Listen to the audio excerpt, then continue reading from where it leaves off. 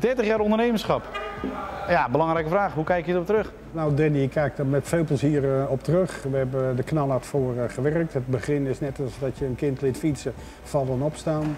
Maar goed, eh, het vallen en opstaan heeft me wel gebracht waar we nu zijn. En dat is een mooi bedrijf neergezet. Een mooi bedrijf, bestaande uit veel familieleden. Ja.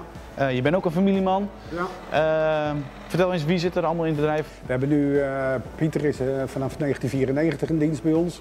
Dus vest, dat is mijn broer Pieter. En Sydney, of Robin, is, zit bij ons in het bedrijf. En Sydney, mijn jongste zoon. Ja. En wat doen zij? Eh, Pieter is vestigingsmanager, zoals ik zei, voor IJsselstein. Eh Robin die houdt de, grote lijn in de gaten. Die zorgt ook voor de organisatie, kwaliteit, management, et cetera. En die remt zijn vaart er wel eens af. En Sydney is verantwoordelijk, mede verantwoordelijk voor de gebruikte auto's.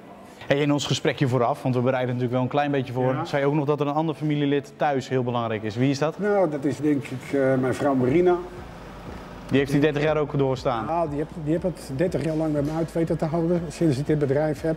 Maar die heeft natuurlijk ook best wel mee, eh, het een en ander meegemaakt met me. Maar het is wel zo, op het moment, eh, ze hebben wel voor de jongens gezorgd toen ze klein waren. Ze was daar als ik het nodig had, top. En zij zei 30 jaar geleden toen de kans kreeg, Hans, doen. Ja, 30 jaar geleden eh, hebben we dat bedrijf gestart. Toen ben ik tot onderhandelingen gegaan met de toenmalige eigenaar meneer Verkaaiek. En toen was Marina eigenlijk diegene die op een gegeven moment zei, eh, doe dat nou maar, waar je wil het. Ga ervoor. Dat hebben we gedaan. En nu 30 jaar later, uitgerekend in het jubileumjaar, hebben jullie een mooie erkenning gekregen Ja. recentelijk in Parijs. Kun je dat We toelichten? hebben een hele mooie erkenning gekregen. Dat is de Dealer uh, of the Year Award 2017. De uitreiking vond plaats in, eh, of in eh, Parijs, het Paleis van Versailles. En het is een, een, een award die heeft te maken met de commerciële performance, financiële performance, kwaliteit. Ja, eigenlijk de hele organisatie van het bedrijf. En dat is mede tot stand gekomen met een hele groep mensen, Gouden Woede IJsselstein, die we in dienst hebben. Ja, want het is echt een, een ik team. ik- hè? ik doe het niet alleen. Je doet het niet alleen. Nee. Nee.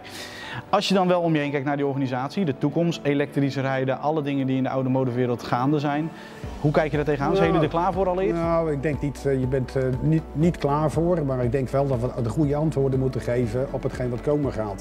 We hebben natuurlijk al een aantal zaken geregeld. We hebben de, Renault heeft een aantal elektrische auto's ter beschikking en dat wordt alleen maar groter.